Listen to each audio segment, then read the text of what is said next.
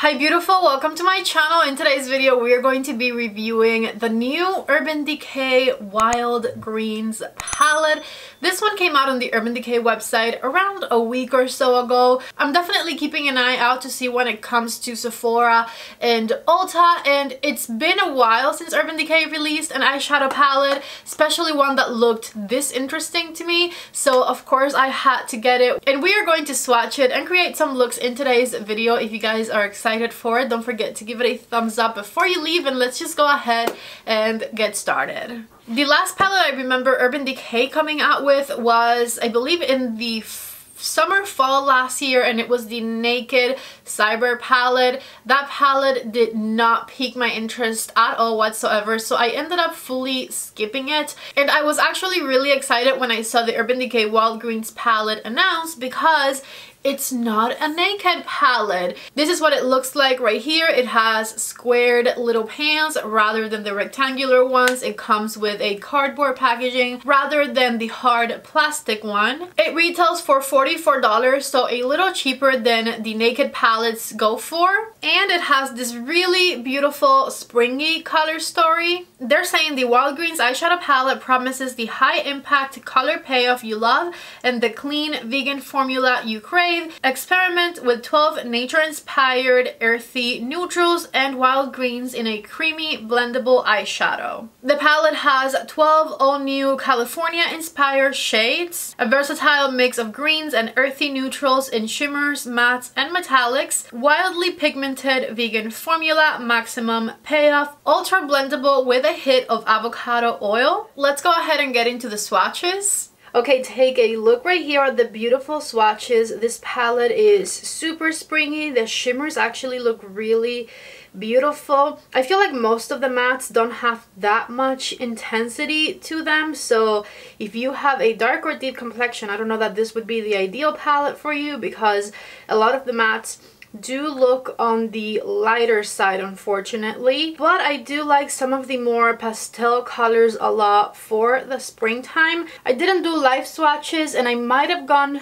over some of the lighter shades twice but overall everything swatched really nicely. I was kind of surprised just now when I read that they're all new shades and all new formulas because for some reason I remember them having a color called Lofi or Lo-Fi the same way this one right here is named from years ago but maybe they changed the formula or the color slightly different. I'm not sure because i don't actually remember what lo-fi used to look like. I just remember that the name already existed. As far as the rest of the shades in here, I didn't really get that vibe from any others. And well, let's just go for some eye looks because I am dying to try this formula and the shades swatch really beautifully. So let's just see. I got you guys a little closer to do an eye look. I don't know what he's doing here. He definitely was not invited to the party, but it is what it is. I'm going to start with my Rephr number 15 brush and I pulled my hair out of my face and we are going into the color Lo-Fi, Lofi, right here. And this is of course going to be used as our transition shade. So I'm just going to load my brush and do windshield wiper motions and build it up all over the crease. This shade is really light, but it is building up to be a nice transition shade. With the Rephr number one, I'm grabbing the color Super Greens. And I'm going to, yes, I'm going to place it on the inner half of my crease blended into our transition color. This one's a bit more pigmented.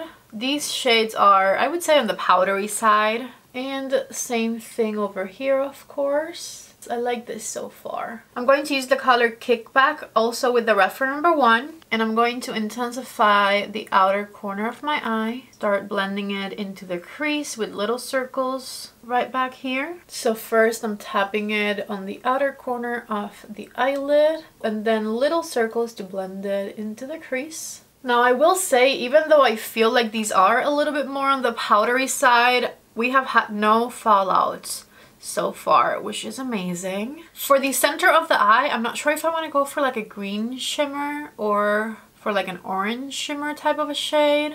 What do you guys think? I think I'm going to go for the green shimmer and with my finger I'm just going to press it all over the center of the eyelid. Yeah, I like the way this came out. That's cute. For the inner corner, I'm going to grab the color Chill with the reference number 28, put it on the inner corner and blend it in a little bit. I don't want to lose my super green, so I'm going to add it back using a reference number 26. Okay, and I'm done with the top of the eye. This looks really cute. I'm going to do a little bit underneath, so I'm using Kickback on a reference number 26 and blending it underneath my lower lashes. A little bit of our transition shade on a Rephr number 14 to diffuse the under eye. Natasha Denona brown eyeliner. And here's the final first look without mascara.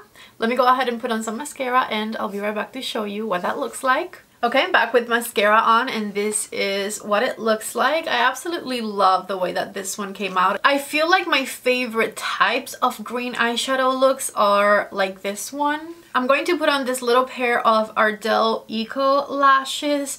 Um, even this right here is cardboard, no plastic, so I love that. Let's see what these do. I chose super natural looking lashes. Can you even tell the difference? I have them on this side. Okay, lashes applied just for a little bit more volume and this right here is the final first look. Love it. Let's begin look number two and I'm going to start with the color earth side and I'm going to distribute it across the crease of my eye just back and forth with a big fluffy brush doing some windshield wiper motions right here back and forth this pastel green color is so pretty. I love it. So I'm just going to build it up to the intensity that I want. And to darken it up, I'm going to use the color Earth Side on a reference number one. This is like a taupey gray type of a shade. And I'm just going to build it into that green shade ever so slightly, darkening up the outer half of the crease. And I'm going to further intensify with a little bit of Kale. So I'm just patting it right on the outer corner of my eyelid. And I'm still using that reference number one brush. Going back with the big fluffy brush in case I need to further blend anything up here. And for the center of the eyelid, I'm going to use the color Fuzz. And I'm applying it with my finger right in the center of the eyelid here. Fuzz is like a really pretty duochrome type of a shade. So it has some greens in it, but it also has some of the warmer tones that the palette has. And then with a flat brush, I'm grabbing the color High Vibe and I'm going to blend it on the inner third of my eyelid right here.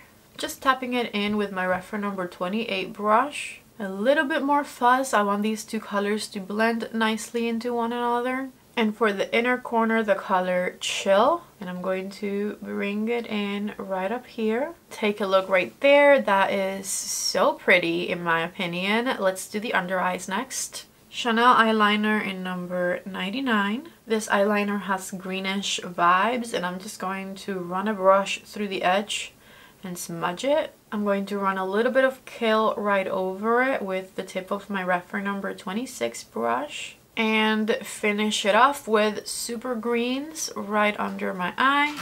Lastly, a touch of kickback on the outer half of the under eye here just to darken things up a little bit. Okay, so this is the finished second look. This is how things are looking before mascara.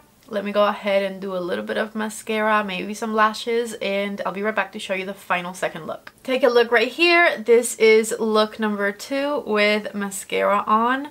I love the soft green and peachy tones of this look so much. And that duochrome shimmer in the center of the eyelid is so beautiful to me.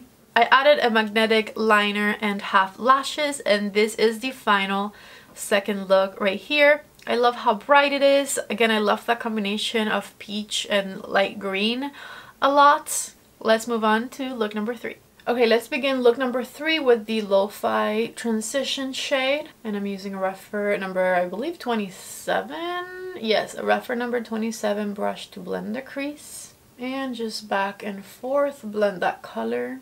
Then with my Rephr number one and the color Turmeric, I'm going to darken things up. Starting on the inner corner of the eye, just blending it upwards. Same thing back here tapping it on the outer corner first and now I'm going to start blending it into the crease back and forth I want to intensify things further with the color Stash and so I'm going to use a reference number 14 brush and tap it on the outermost corner of the eye, blend it upwards a bit. I'm using a reference number 14 because it's a lot thinner of a blending brush and so I can be a little bit more precise with where I place and blend the color. And same thing on the inner corner right here. Just darkening up things ever so slightly. I think this is dark enough, but if it's not, then we'll just come back with some more kickback later. I just need it to be either darker or just as intense as the color Starch right here. And so with my reference number 28, I'm going to place it right here. Okay, maybe I'm going to use my finger instead of the brush.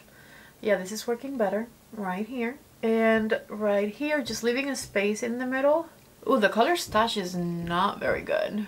Okay, back with the brush, I'm trying to place it where I want it. And then more kickback to intensify the outer corner. We did end up needing a little bit more depth back here.